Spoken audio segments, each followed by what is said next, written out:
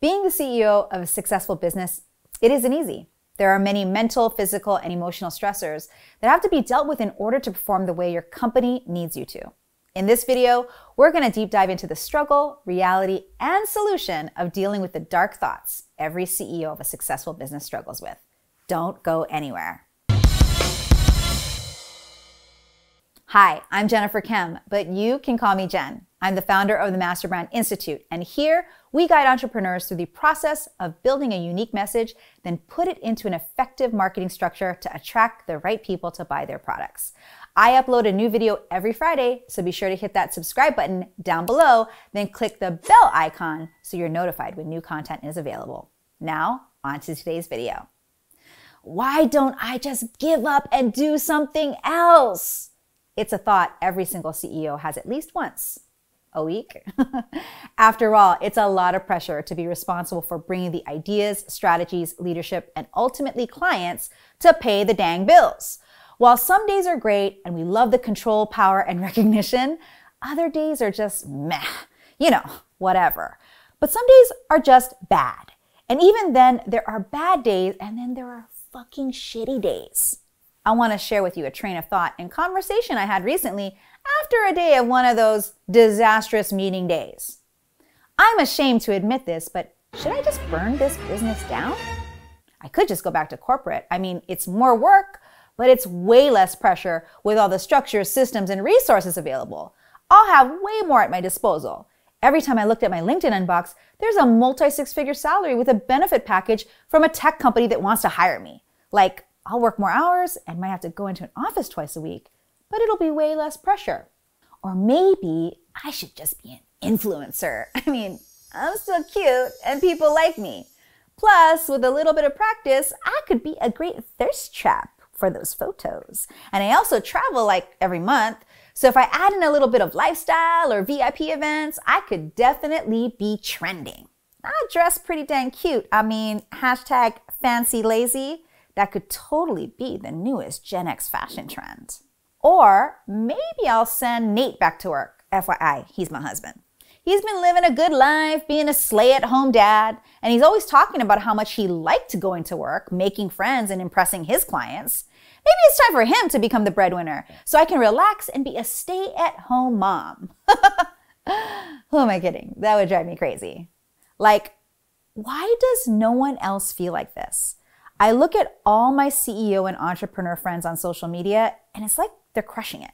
But I feel like everything has been a struggle. Yeah, it's been rewarding, but I don't know if I have the stamina to keep pushing at this pace. Now, you probably don't have the exact same thoughts as me, but you definitely know a little bit about what I'm talking about the doubt, the fear, and the kind of seriously looking for opportunities to escape into something new. I know I'm not the only one who feels like this, right? which, if you think about it, it's kind of crazy. I built my first multi-million dollar business before I was 34 years old. I built my second multi-million dollar business when I was 37, and I built my third multi-million dollar business when I was 40. And I still have these self-defeating thoughts, which logically doesn't make sense. Look at everything I've done, yet I'm still having a brain that tricks me into looking for an out. And now I don't say any of this to brag, but to be a reflection for you. What are the amazing things that you've accomplished with your business? If you're watching this video, you've accomplished quite a bit. But for some reason, the thoughts of quitting and giving up still pop into your brain, which is why I think it's so important to surround yourself with people who can objectively point out when you're doing well. Remember that whole in my head thing I just went through? On that same day, I had my weekly leadership meeting with my COO, Sarah Paikai. And we always open the meeting by catching up on how we're personally feeling. So I shared all of my thoughts with her. She looked me dead in the eye, y'all, or at least directly into her camera on Zoom, and told me, Yeah, I don't know why you're thinking about that. Things are going awesome right now. And then she showed me how much money the company had made, the results our clients were sharing with us, and the progress of my own personal projects. I was shocked. I told her I didn't know we were doing that good. I feel like I haven't been doing anything to contribute. And she replied, Yeah, that's kind of the point. You just got to bring the vision of what you want, then I'll get the team to work on it until it meets your expectations. You should read a book or something, whatever will help you stay inspired so that you can keep bringing the company your million dollar ideas. And that, my friend, is the reality of being a CEO. We tend to be big picture thinkers who need to be reminded that our ideas and direction are producing results in the day to day work. And that's why it's so important you surround yourself with people who can objectively show you what is and isn't working. So I'm curious to know who are the people you surround yourself with to give you objective feedback on how your business is doing? Let me know down in the comments.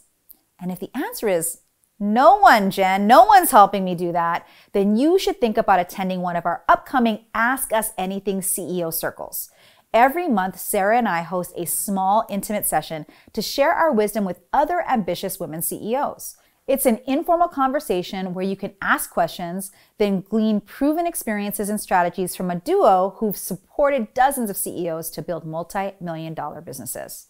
It's free and it's super low key, so there's no pretense or posturing. We just want to share our wisdom with others who are committed to being the CEO of their life and their business.